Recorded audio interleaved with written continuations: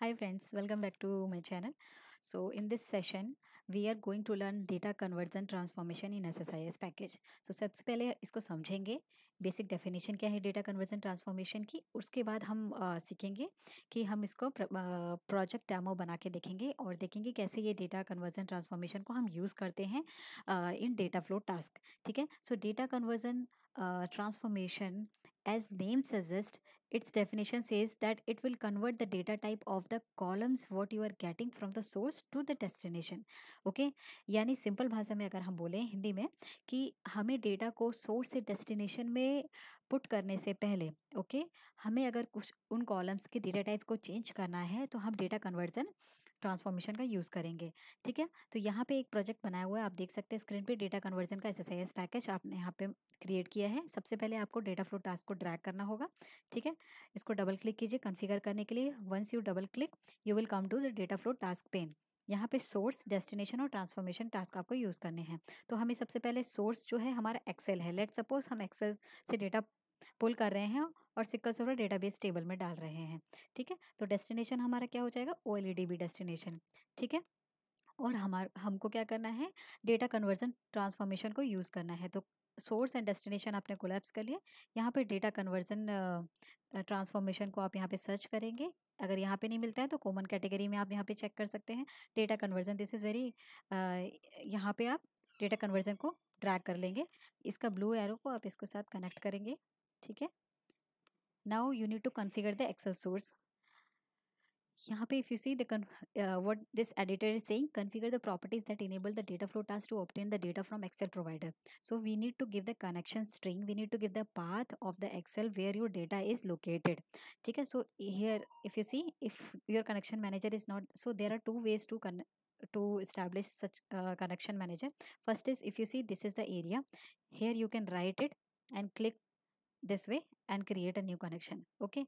And second option is ki you double click here and it will give you an option to uh, create a new connection manager. So click on new button go to browse okay and locate your file. So i have this uh, file employee data source. Click on open click on ok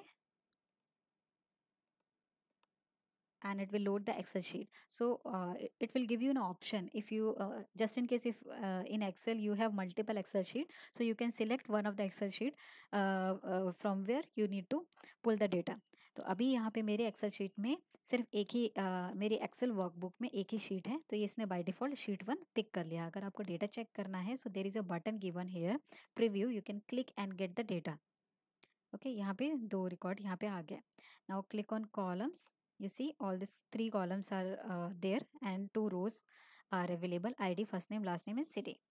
Okay? Click on ok and this is configured. Now you need to go to data conversion. So here if you see just in case you wanted to change the destination of uh, change the data type of your uh, id column so uske liye or change the data type of your city column so usually Excel sheet में जितना भी data होता है by default Unicode होता है string वाला, ठीक है? और जो भी इंटीजर टाइप के होते हैं, वो डबल प्रेसिशन में होंगे। तो अगर आपके पास डेटा डेस्टिनेशन साइड में सिटी कॉलम जो है यूनिकोड नहीं है नॉन यूनिकोड है दैट मीन्स वेयर केयर है एन वेयर केयर नहीं है तो आपको क्या करना होगा? इसको यहाँ पे इसका डेटा कन्वर्जन टाइप चेंज करना होगा।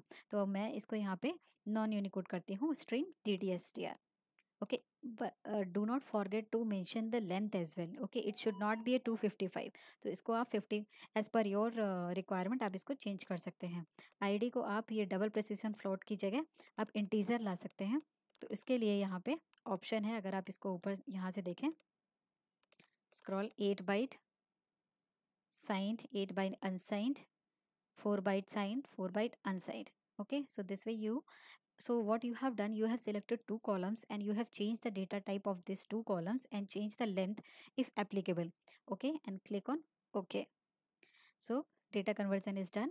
Now you need to configure to the destination. Uh, that means on which table do you want to insert this record? Okay? So let me create a so i have this uh, database uh, adventure works. So let me click ok. I will use it just in but uh, just in case i uh, uh, if you have a table you can select from here.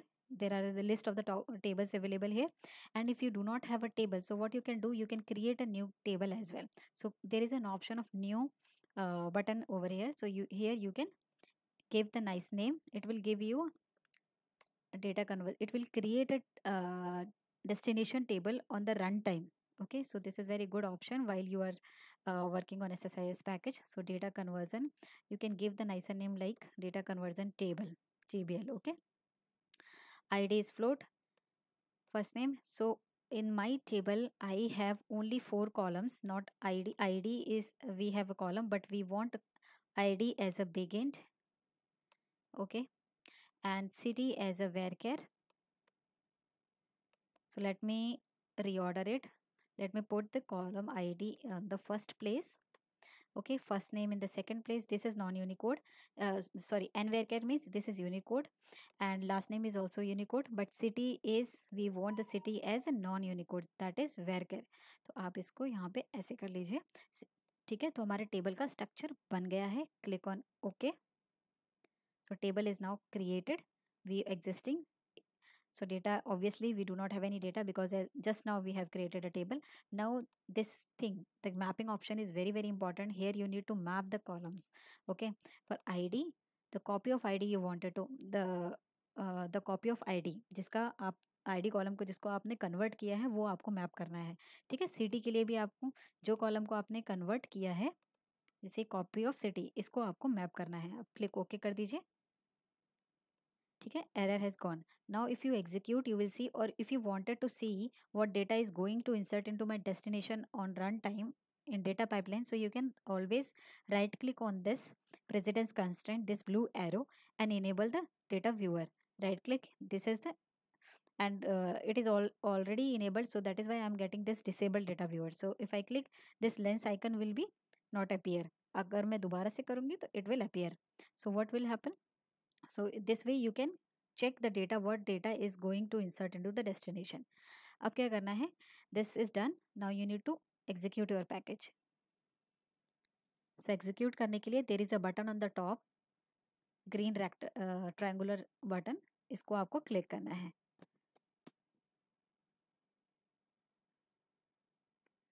and wait for a second यहाँ पे देखिए आप क्या है ये हमारा data insert होने वाला है कॉपी ऑफ़ अगर आप देखेंगे one and two and copy of city so these are the columns which which we are going to insert सो अभी जो मैप्ड हुए हैं कॉलम वो इंसर्ट होंगे, ना कि ये वाला आईडी और सिटी होगा। ठीक है? इसको क्या करेंगे? देखिए डेटाबेस में ये इंसर्ट हो गया है। अगर आप डेटाबेस में जाके चेक करना चाहें तो आप एडवेंचर वर्क्स डेटाबेस में न्यू क्वेरी ओपन कीजिए। टेबल्स को रिफ्रेश कीजिए।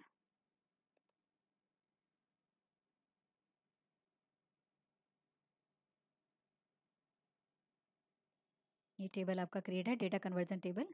इसको आप सिलेक्ट करके देखिए, data is been inserted into this table और not. See, data is been inserted.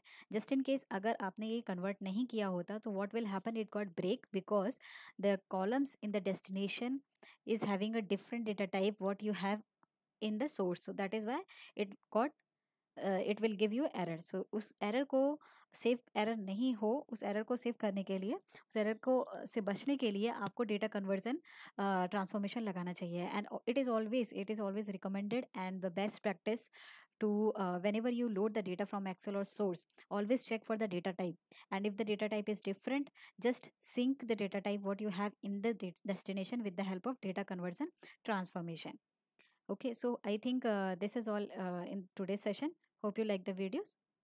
Just in case if you have if you have any questions or uh, doubt you can comment me in this video. So i'll i will uh, reply on your comments. Thank you and have a nice day